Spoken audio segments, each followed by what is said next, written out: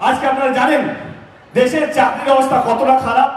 স্বাধীনতার পর দেশে এত খারাপ অবস্থা, চাকরি কোনোদিনও হয়নি। এটা প্রথমবার হতে চলেছে।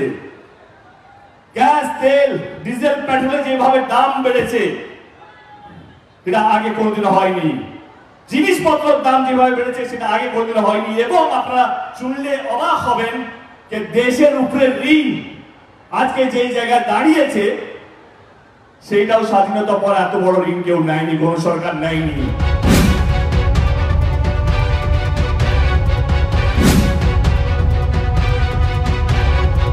প্রথমে আপনাদের সকলকে হাত জোড় করে ধন্যবাদ জানাতে চাই, কারণ আজকে ভীষণ ভীষণ গরম। প্রচণ্ড গরম, তার সত্ত্বেও আপনারা এসছেন এবং যারা এখানে শেল্টার পানি বাইরে দাঁড়িয়ে আছেন, আমি আমার দলের পক্ষ থেকে, আমার পক্ষ থেকে আপনাদের সবাইকে হাত জোর করে, মাথা নিচু করে অনেক অনেক অনেক ধন্যবাদ। আহ, এইটা পুরোপুরি দলের প্রতি আপনাদের ভালোবাসা, দলের প্রতি আপনাদের বিশ্বাস এবং সর্বোপরি আমাদের নেত্রী, আমাদের দিদির প্রতি আপনাদের ভালোবাসা, আপনাদের বিশ্বাস। এই নির্বাচনটা, দু হাজার চব্বিশে নির্বাচনটা উন্নয়ন নিয়ে হওয়া উচিত। কোন দল, কোন দলের মুখ্যমন্ত্রী যে মানুষকে ভালো রেখেছে তার প্রতি হওয়া উচিত। আমি এটুকু বলব, আমি আমার দলের হয়ে এই এটা আমার তৃতীয়বার। আমাদের নেত্রী, আমাদের মুখ্যমন্ত্রী গত তেরো বছর ধরে বাংলাকে বাঁচিয়ে রেখেছে, আগলে রেখেছে এবং সবচেয়ে বেশি দরকার শান্তিতে রেখেছে। কিন্তু আজকে রাজনীতি হচ্ছে ধর্ম নিয়ে। কে হিন্দু, কে মুসলিম, এইটা নিয়ে রাজনীতি হচ্ছে। আমি আপনাদেরকে একটা প্রশ্ন করব, এই নির্বাচনটা কিসের নির্বাচন? যে জিতবে জেতার পর কতগুলো মন্দির হবে সেইটা না কতগুলো মসজিদ হবে সেটা নির্বাচন। না, এই নির্বাচনটা হচ্ছে জেতার পর কে কতগুলো হসপিটাল করবে, কে কতটা স্কুল করবে, কে রাস্তাঘাট করবে, কে মানুষকে বাঁচিয়ে রাখবে, কে মানুষকে শান্তিতে রাখবে, সে হিন্দু হোক, মুসলিম হোক, শিখ হোক, ইসাই হোক, যে কোনো ধর্মের হোক। এইটাই আমাদের ধর্ম, এইটাই জনপ্রতিনিধির ধর্ম, এইটা সমস্ত পলিটিক্যাল পার্টির ধর্ম হওয়া উচিত, কিন্তু না। আজকে রাজনীতি হচ্ছে কে হিন্দু, কে মুসলিম, আপনি কি খাচ্ছেন, আপনি কি পড়ছেন? ধর্মের রাজনীতি এমন জায়গায় ছড়িয়ে গেছে, আপনারা ভাববেন কোথায় চলে গেছে ধর্ম? আজকে স্কুলের বাচ্চারা, আপনারা সবাই, আমরা সবাই স্কুলে গেছি। আমরা আমাদের ছোটবেলায় স্কুলে কোনোদিনও ভাবতে হয়েছে, আমার পাশে যে ছেলেটা বসে আছে বা আমার পাশে যে মেয়েটা বসে আছে, সেটা হিন্দু না মুসলিম? কোনোদিনও ভাবিনি। কোনোদিনও ভাবিনি, আমি ছোটবেলায় স্কুলে যখন ছিলাম, কেন আমার বন্ধু যে মুসলিম, তার ঈদে কেন খেতে যাচ্ছি?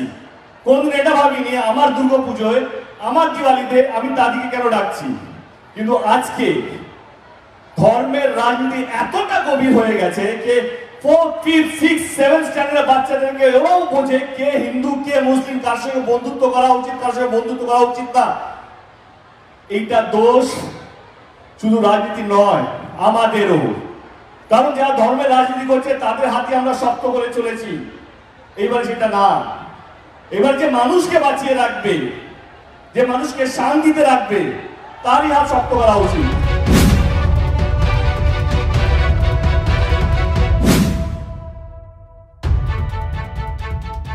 আমি বেশি দূরে যাব না। দু হাজার একুশে যখন আমরা নির্বাচনের প্রচার করছিলাম, দিদি একটা প্রকল্প নিয়ে তার নাম ছিল লক্ষ্মীর ভান্ডার স্বাস্থ্য সাথী। আপনারা সবাই জানেন নির্বাচন আগে বড় বড় নেতারা তারা শুধু প্রতিশ্রুতি দেয়, ভোট নেয়, ভোটটা নিয়ে চলে যায়। কি প্রতিশ্রুতি দিয়েছে, কি কথা দিয়ে সেটা কোনোদিনও রাখেন না। কিন্তু আমাদের নেত্রী যেই প্রকল্পটা দু হাজার একুশে দিয়েছিলেন, নির্বাচনের আগে লক্ষ্মীর ভান্ডারের মতন প্রকল্প, স্বাস্থ্য সাথীর মতন প্রকল্প আপনারা বিপুল ভোটে জিতিয়েছেন। প্রথমবার তৃণমূল কংগ্রেস দুশো পার করেছিল। এবং তিনি তৃতীয়বারের জন্য যখন মুখ্যমন্ত্রী হলেন, তিন মাসের মধ্যে লক্ষ্মীর ভান্ডার প্রকল্পটা বাস্তবিক করেছিলেন। সে কথা দিয়ে পালিয়ে যাননি। যেতে পারতেন। কারণ আপনারা দুশোর বেশি সিট দিয়েছিলেন, তিনি কথা নাও রাখতে পারতেন। কিন্তু তিনি সেটা করেননি। তিনি যা যা কথা দিয়েছেন, যা যা প্রতিশ্রুতি দিয়েছেন সব কটা রেখেছেন। এবার আপনারা বলুন ভোটটা কাকে যাবে? যারা হিন্দু, মুসলিমের রাজনীতি করে, না যে সুপার স্পেশালিটি হসপিটাল বানাচ্ছে, যে স্কুল বানাচ্ছে, হাই স্কুল বানাচ্ছে, আইটিআই কলেজ বানাচ্ছে, সরকারি কলেজ বানাচ্ছে, রাস্তাঘাট থেকে আরম্ভ করে সমস্ত কিছু, ভোটটা তাকে দেওয়া উচিত? ঘাটাল লোকসভা কেন্দ্রের সবচেয়ে বড় সমস্যা হচ্ছে, এখানে অতিরিক্ত বৃষ্টি হলে বন্যা চলে আসে। অতিরিক্ত বৃষ্টি হলে পৃথিবীতে বন্যা হয়।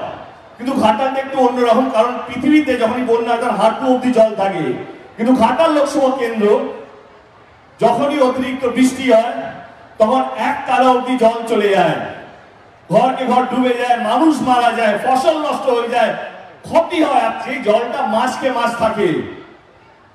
আমি দিদিকে কথা চেয়েছিলাম যে, দিদি, যদি ঘাটাল মাস্টার প্ল্যানটা যদি হয়? দিদি এক কথায় হ্যাঁ বলেছেন, এবং ঘাটাল মাস্টার প্ল্যান যেটা একশো বছরের আগেকারের স্বপ্ন, স্বাধীনতার আগেকারের স্বপ্ন, আমাদের নেত্রী সেই কথাটা রেখেছে। এবং আগামী দিনে ঘাটাল মাস্টার প্ল্যানের যে স্বপ্নটা, যেটা কত ঘাটালবাসী হবে বলে চলে গেছেন, দেখতে পাননি, এবারে সেটা বাস্তবিক হতে চলেছে দিদির হাত ধরে, তৃণমূল কংগ্রেসের হাত ধরে, রাজ্য সরকারের হাত ধরে। এবার আপনারা বলুন, যে ভোটটা কাকে দেবে? যে মানুষকে নিয়ে ভাবে? যে মানুষকে ভালো রাখে, যে মানুষকে শান্তিতে রাখে, তাকে কে হিন্দু, কে মুসলিম সেটা বলতে হয় না। সে পুজোতেও যায়, সে ঈদেও যায়, সে ক্রিসমাসে, ক্রিসমাসেও যায় চার্চে। রাজনীতি তাই হওয়া উচিত, তাই না? আমার মনে হয় কোন রাজনীতির ভিড়ের কোন নিজস্ব ধর্ম হওয়া উচিত না। একটাই ধর্ম হওয়া উচিত, একটাই ধর্ম হওয়া উচিত, সেই ধর্মের নাম হচ্ছে মানব ধর্ম, যে মানুষকে ভালো লাগবে।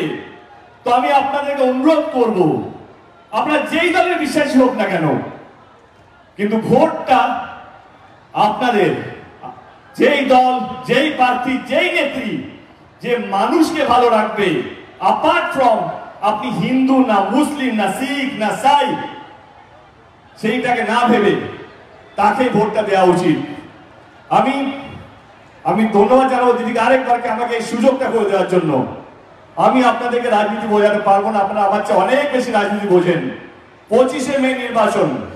আমি বিশ্বাস করি ঘাটাল লোকসভা কেন্দ্রে যদি উন্নয়ন নিয়ে ভোট হয়, যে প্রতিশ্রুতি প্রতিশ্রুতি দিয়ে দেয়, যে করে, তাকে নিয়ে যদি ভোট হয়, যদি মানুষকে শান্তিতে রাখার যদি ভোট হয় মানুষকে ভালো রাখার যদি ভোট হয়, যদি স্কুল, কলেজ, রাস্তাঘাট নিয়ে যদি ভোট হয়, আমি জানি ঘাটাল লোকসভা কেন্দ্রে একটা ভোটও তৃণমূল কংগ্রেসের বাইরে পড়বে না।